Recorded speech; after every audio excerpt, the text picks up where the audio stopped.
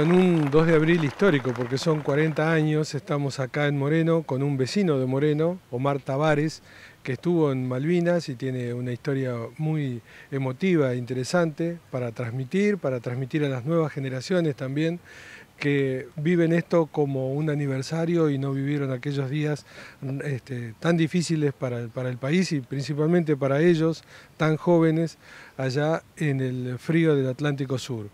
Así que bueno, Omar, eh, te vemos con la trompeta, bastante animado, bien animado acá, eh, en un día muy especial.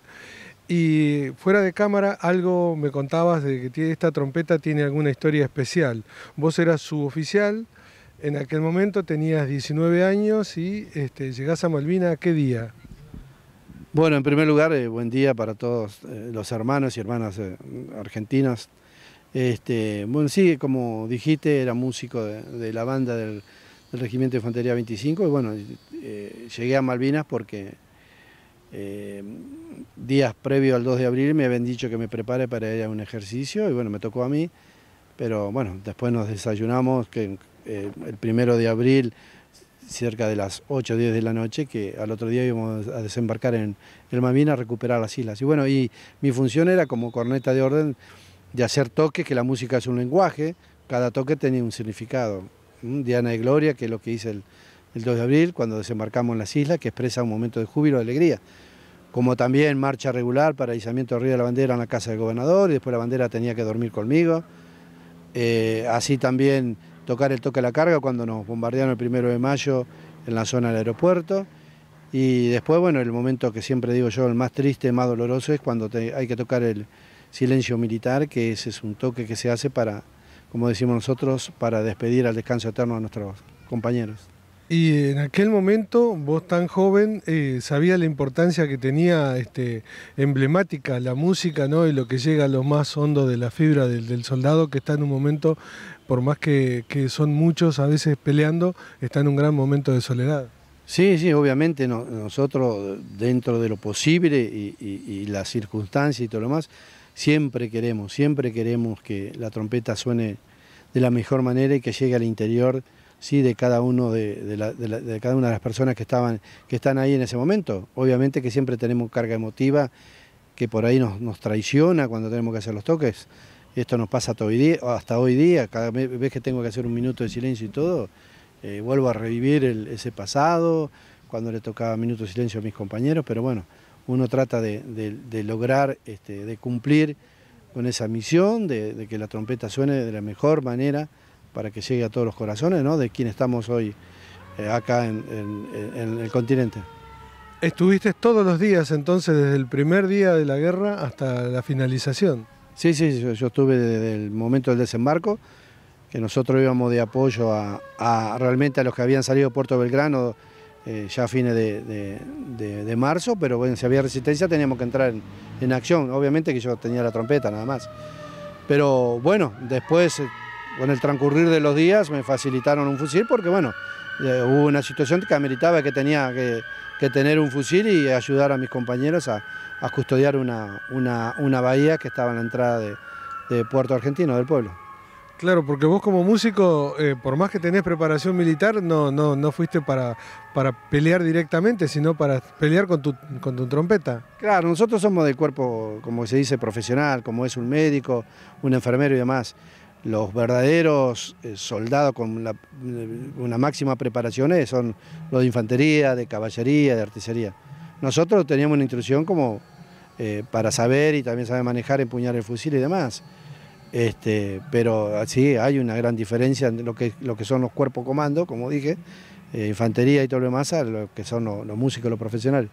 Antes de que me cuentes la historia este, de la trompeta esta, que es una historia fantástica, eh, contame algo más de esos días, ¿no? ¿Dónde estabas? ¿Vos, eh, ¿A qué regimiento pertenecías?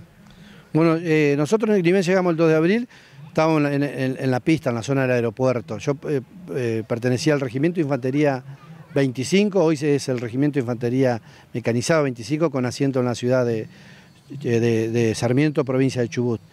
Y en ese momento, bueno, tuvimos que esperar hasta la rendición del gobernador, ese 2 de abril y bueno, cuando ya nos dieron la orden que el gobernador eh, británico había, eh, este, como es, se había entregado, eh, ahí nos trasladamos hacia mm, la parte del pueblo, donde está el pueblo de Puerto Argentino, más hacia el sur de, la pista de, aterrizaje, que más o menos una distancia de 9, 10 kilómetros.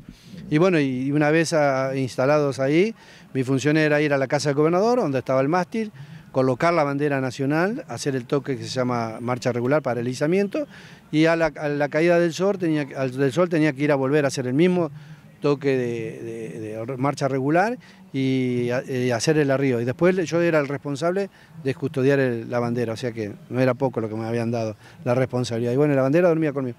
La bandera y la trompeta era lo que, lo que estaban eh, conmigo y a los cuales tenía que realmente este, custodiar y cuidar. Y después de tanta este, euforia de momentos y tristezas, todo eso, termina la guerra y contame un poco la, historia de esta trompeta que seguramente te la habrán quitado el primer día del 14 de, junio. Sí, cuando finaliza el conflicto, yo no recuerdo bien si fue dos días después de la finalización, eh, eh, em, empezamos los soldados argentinos a embarcar en distintos buques. A nosotros nos tocó en Norland, que era un buque británico, pero bueno, antes de subir a a, ahí este, teníamos que eh, esperar que nos hacían la requisa para ver qué teníamos nosotros, si llevábamos algún elemento que para ellos les representaba este peligro.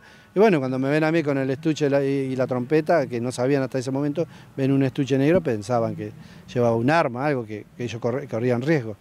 Pero cuando me lo arrebata este británico que es Tony Banks, después dice que él abre el estuche y ve que adentro estaba una trompeta, es un instrumento musical que no provocaba ningún daño.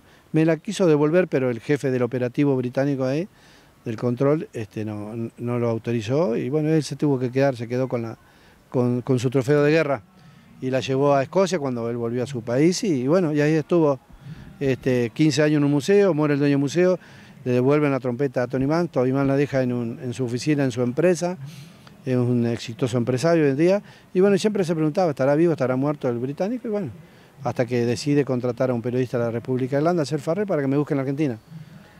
Se preguntaba por, por vos, si estabas vivo o estabas muerto. Sí, sí, sí, realmente si estaba vivo o estaba muerto el dueño de la trompeta. Porque él dice que en ese momento él entró el fantasma del remordimiento. Él quería devolverme la trompeta porque si no, no iba a morir en paz. Y bueno, y lo logra. Lo logra a, ¿Cómo, ¿Cómo, lo logra? Lo logra a través de este periodista independiente de la República de Irlanda que me busca en Argentina, pero solamente con la trompeta tiene un número entonces con ese número nada más me tenía que buscar. Y bueno, y lo logró. Cuando me encuentran en el departamento de banda, que ahí está el registro de la trompeta, llama Jeff Farrell, el periodista de la República Irlanda, llama a, Escocia, donde estaba el británico escocés, Tony Banks, y le dice, encontré tu hombre. Entonces Tony Banks desde Escocia le dice, bueno, decime el nombre y apellido. Omar René Tavares, ¿qué hace Tony Banks? Ahí tenía el, estuche, la trompeta y todo. Dentro del, estuche también estaba la libretita musical, escrito con todo con escritura musical y en la primera hoja pentagramada estaba mi nombre y apellido. Dice, oh, eh, le dice desde la Argentina, Omar René Tavares. Entonces él abre, mira a ti y dice, sí, efectivamente es ese hombre. Es, es el hombre que quería realmente que eh, encontraras. Y bueno, y así que lo arreglamos para, para el, 10, el 14 de junio del 2010 y llega a mi casa acá a Moreno.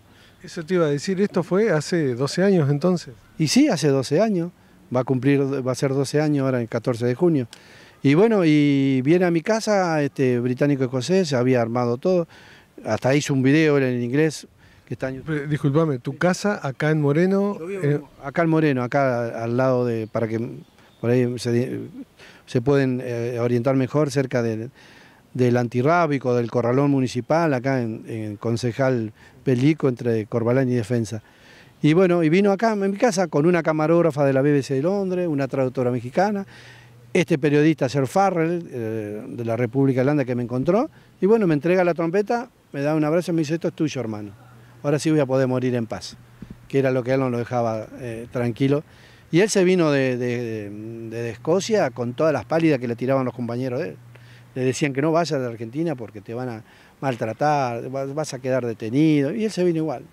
Mira vos, un tipo que tenía mucho dinero, a él no le importó el dinero, le importó lo que pasaba en su interior ese era el fantasma que nos, dejaba vivir. Bueno, y ahí me entrega la trompeta, dice que lamentaba mucho que, en ese momento eh, estuvimos en vereda diferente, que a partir de ese momento él tenía un amigo, amigo más y que la guerra no la hacemos nosotros, sino la, hacen los que están en el, en el poder. Y bueno, y ahí brindamos con agua, de ellos dicen, mira, la primera vez que brindamos con agua porque somos de tomar mucho whisky, cerveza. Bueno, qué mejor que el agua, digo, qué más sano para el ser humano. Y, brindar por la paz para que la, eh, la sociedad, el país se pueda desarrollar de la mejor manera. Sí, es, un aspecto humano muy, muy central, ¿no? Del espíritu humano. Pero al margen de eso, eh, con respecto a, todos los demás soldados británicos que combatieron con ustedes, por lo general hay una, buena relación, por muchos aspectos, con muchos de los, de los veteranos argentinos, ¿no? Sí, sí, sí, porque después uno de la guerra y todo eh, eh, entiende bien que somos todos seres humanos. todos cumplíamos órdenes y estábamos ahí eh, no porque nosotros los soldados hicimos la guerra, sino que nos mandaron a, ¿cómo es? a una guerra y bueno, y uno, y, como yo siempre digo, más allá de lo que puedan decir de, Galtieri, de Ramidoso, de, y todo lo demás, eh, tenemos que separar las cosas, no mezclar todo con el tema de dictadura. Acá lo que hay que ver que cuando le dijeron eh, vamos a defender a nuestro pueblo y todo demás, nació ese patriotismo de nuestros soldados, de jóvenes y no tan jóvenes, que dejaron la vida por la patria, no dudaron en ofrecer lo más sagrado que es la vida. Y vos fijate que hoy en día de nuestros caídos quedan pobrecitos los familiares de, de, los que están como centinela en Malvinas y sufren con tanto dolor la pérdida de un hijo, lo llevan ese dolor. Pero ellos dicen que están orgullosos y bueno, y hay que respetar eso. Eh, la entrega y la negación. Y de eso tenemos que aprender también de ese pasado, de, de entregarnos al país, y abnegación no digo con un fusil, pero sino que cada uno en la función que tenemos que cumplir como ciudadanos, que lo hagamos de la mejor manera y que pensemos en el país. Una mirada altruista, no para el bien de todos. hay que rescatarlo muy claro a esto porque ustedes estaban defendiendo parte de nuestro territorio arrebatado por los ingleses. Sí, exactamente. Las Malvinas son Argentina, desde lo geográfico, lo histórico, lo histórico donde vos quieras verlo, eh, nos pertenece a nosotros. Es un derecho inalienable. ¿Qué quiero decir con esto? Irrenunciable, que no podemos renunciar.